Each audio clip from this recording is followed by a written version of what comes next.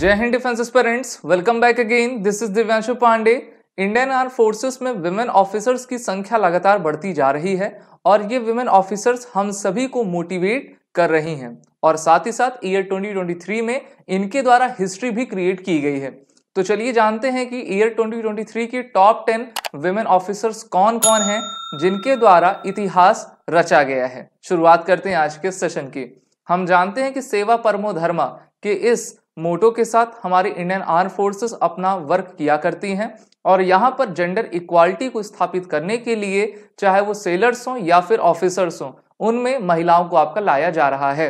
इस साल 2023 में टॉप टेन वुमेन ऑफिसर्स ऐसी हैं जिन्होंने हमको मोटिवेट किया है इंस्पायर किया है और इसी के साथ हिस्ट्री को क्रिएट किया है। शुरुआत करेंगे वुमेन ऑफिसर्स की और जानेंगे ये कौन कौन ऑफिसर्स हैं। सबसे पहले आती हैं कमांडर प्रेरणा। तो देखिए कमांडर प्रेरणा इंडियन नेवी की ऑफिसर हैं और इनके द्वारा ये पहली महिला ऑफिसर बनी हैं जिनके द्वारा इंडियन नेवल वॉरशिप को आपका कमांड किया गया है जो कि भारतीय नौसेना के वेस्टर्न फ्लीट पर तैनात है। तो किसी भी वॉरशिप को कमांड करने वाली ये पहली महिला अधिकारी हैं जिनका नाम है कमांडर प्रेरणा।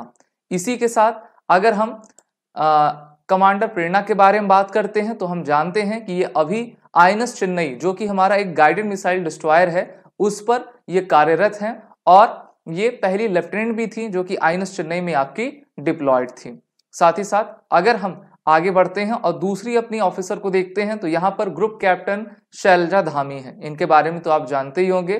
तो ग्रुप कैप्टन शैलजा धामी भारतीय वायुसेना की पहली महिला ऑफिसर है, जिनको फ्रंट लाइन कॉम्बैट यूनिट में आपकी जगह दी गई है।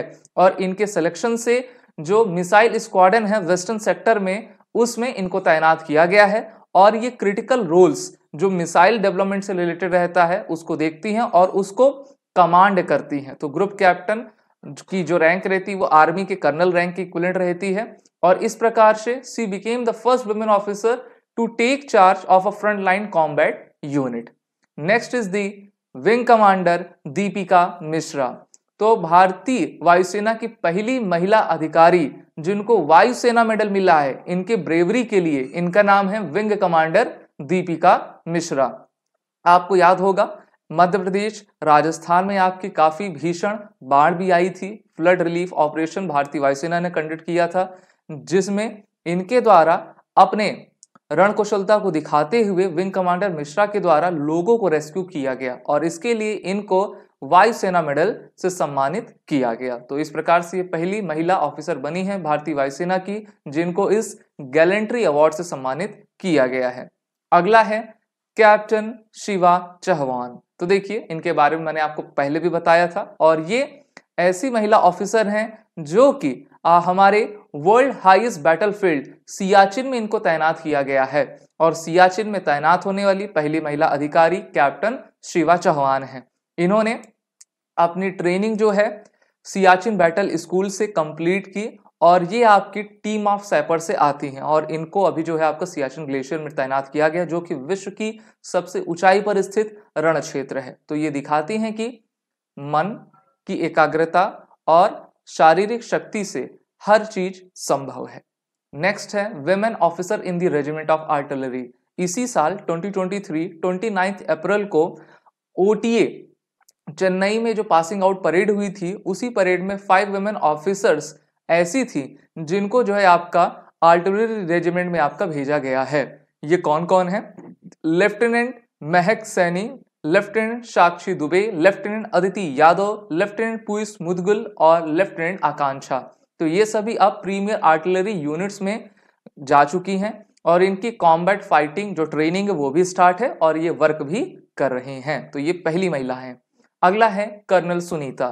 तो इसी साल नवंबर 22 2023 में आर्मी मेडिकल कोर से आने वाली लेफ्टिनेंट आपकी जो कर्नल सुनीता है she became the first woman to command the armed forces transfusion centre in Delhi cantt तो इस प्रकार से जो लार्जेस्ट ब्लड ट्रांसफ्यूजन का सेंटर है दिल्ली का आर्म फोर्सेस का, वहाँ पर अब ये आपकी उसको कमांड कर रही हैं।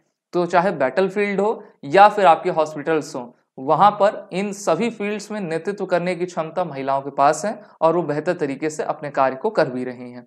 अगला है कैप्टन सुरभि जखमोला। तो देखिए, कैप्टन श्रुभि जखमोला भारतीय थल सेना की ऑफिसर हैं। 117 इंजीनियर रेजिमेंट से आती हैं और प्रोजेक्ट दंतक, जिसको भारत सरकार के द्वारा, बीआरओ के द्वारा भूटान में चलाया जा रहा था स्ट्रेटेजिक रोड्स को बनाने के लिए, उसमें पहली महिला ऑफिसर भारत की हैं, जिनको दूसरे देश में इस प्रोजेक्ट के तहत आपका भेजा गया था फॉरेन असाइनमेंट में। तो इन्होंने भी काफ़ी नाम ऊँचा किया है, हमारे देश का, अपने सेना का, अपने यूनिट का और खुद भी अपना। अगला है स्क्वाडन लीडर मनीषा पादी। तो देखिए, अभी तो ये काफ़ी सुर्खियों में बनी हुई थी। ये पहली महिला ऑफिसर हैं, जिनको एडीसी बनाया गया है गवर्नर का। So squadron leader Manisha Padhi appointed aide de camp ADC of the governor of Mizoram इस प्रकार से ये पहली महिला ऑफिसर बन गई जिनको आ, हमारे सबसे उच्च पद पर आसीन होने वाले राज्य के गवर्नर का एडीसी नियुक्त किया गया है। अगला है कर्नल सुचिता शेखर तो देखिए she became the first officer of the army service corps to assume command of a communication zone mechanical transport battalion, जो कि रिस्पॉन्सिबल होती है सप्लाई चेन के मेंटेनेंस में, और ये ऑपरेशनलाइज्ड है अभी नॉर्दर्न कमांड में। तो इस प्रकार से ये सभी महिला अधिकारी अपने सेवा के ज़रिए हम सभी को इंस्पायर कर रही हैं, और मेनली उन गर्ल्स कैंडिडेट को कर रही हैं, जो कि भारतीय सेनाओं में जुड़कर कुछ बड़ा करना चाहती हैं। कर्नल गीता राणा के बारे में बात करें तो ये देखिए, colonel Geeta Rana, corps of electronics and mechanical engineer से आती हैं।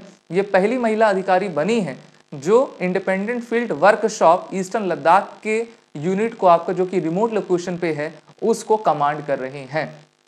तो मेनली चाहे सियाचिन हो, दिल्ली कैंट के हॉस्पिटल्स हों, आर्मी मेडिकल कोर हो, इंजीनियर हो, या फिर कोई प्रोजेक्ट दंतक में हो, इन सभी फील्ड्स में हमारी महिला ऑफिसर कार्यरत हैं और 2023 में इन्होंने ऐसी ऐसी हिस्ट्री आपकी क्रिएट की है जिसको हमेशा याद रखा जाएगा और हम सभी इनके इस सेवा भाव से हमेशा इंस्पायर हो सकेंगे। आप सभी defence aspirant S S B crack exam के इंटरव्यू और रिटर्न कोर्सेज में इनरोल होकर अपने आने वाले एग्ज़ाम की तैयारी ज़रूर करें और वो रिटर्न कोड का यूज़ करें। जय हिंद। अगर आप एक डिफेंस एस्पिरेंट हैं और SSB interview NDA S F CAT जैसे एग्ज़ाम्स के लिए प्रिपेयर कर रहे हैं तो आप S S B crack exams के कोर्स को चेक करना ना भूलें। आप हमारी लर्निंग एप्लीकेशन को गूगल प्ले स्टोर से भी डाउनलोड कर सकते हैं।